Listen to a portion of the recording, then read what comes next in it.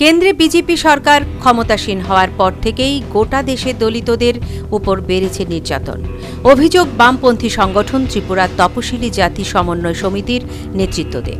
নেতৃত্বদের বক্তব্য, দলিত নির্যাতনের পাশাপাশি পাল্লা দিয়ে বাড়ছে দ্রব্যমূল্য। তাই নির্যাতন ও দ্রব্যমূল্য রোধের পাশাপাশি রাজ্যে অষ্টম বামফ্রন্ট সরকার গঠন করার আহ্বান জানিয়ে আগামী উনত্রিশ অক্টোবর রাজধানীতে কেন্দ্রীয় সমাবেশের ডাক দিয়েছেন ত্রিপুরার তপশিলি জাতি সমন্বয় সমিতি।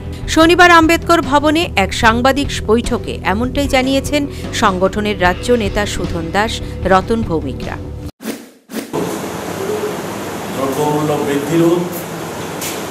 বেসরকারি ক্ষেত্রে সংরক্ষণ চালু সহ কর্মসংস্থান, রাজ্যে শান্তি সম্প্রীতি ও উন্নয়নের ধারাকে অব্যাহত রাখতে অষ্টম বামফ্রন্ট সরকার গড়ব এই আহ্বানকে সামনে রেখে আমরা কেন্দ্রীয় সমাবেশের আহ্বান আমরা করেছি।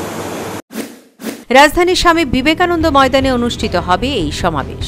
এই সমাবেশে প্রায় একষট্টি হাজার জমায়েতের লক্ষ্যমাত্রা নিয়েছে সংগঠন। Bureau report, news Vanguard.